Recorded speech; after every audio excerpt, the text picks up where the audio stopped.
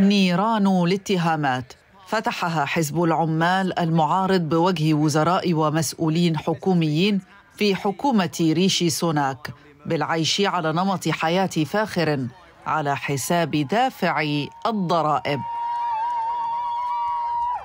ويقول العماليون وفقا لصحيفة الجارديان أن تحليلا للإنفاق الحكومي أظهر أن الوزراء المحافظين ينفقون أرصدة بطاقات الائتمان والتي يمولها دافع الضرائب على السفر والإقامة في فنادق فئة خمس نجوم ويستخدمون الأموال العامة وكأنها ماكينة صراف آلية. نعم بالطبع أنا مستاء من هذا الوضع فأنا أدفع الضرائب.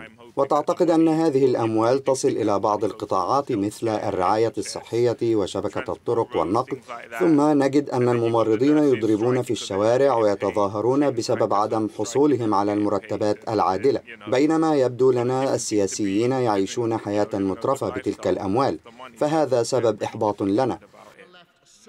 وأطلق حزب العمال حملة على مواقع التواصل الاجتماعي لتسليط الضوء على زيارات إلى فنادق فئة خمس نجوم أقام بها مسؤولون مثل رئيس الوزراء ريشي سوناك ورئيس حزب المحافظين الجديد. في محاولة لإلحاق المزيد من الضرر بمصداقية حزب المحافظين في إدارة الأموال العامة. في المقابل لم ينفي حزب المحافظين هذه التقارير. واكتفى بالقول إن المعلومات المتعلقة باستخدام بطاقات المشتريات الحكومية متاحة بالفعل للرأي العام موضحا أن إجراءات الشفافية بشأن استخدام هذه البطاقات أطلقتها حكومة المحافظين عام 2011 وفي وقت سابق أظهرت التقارير أن الإنفاق الحكومي لشهر ديسمبر الماضي تجاوز الإيرادات بمقدار 27 مليار جنيه استرليني.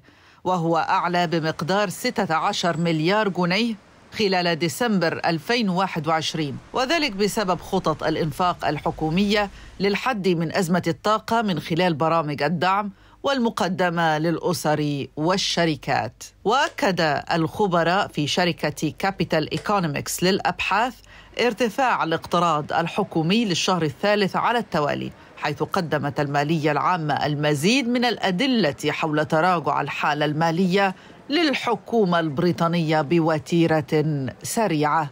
من العاصمة البريطانية لندن هنا القاهرة.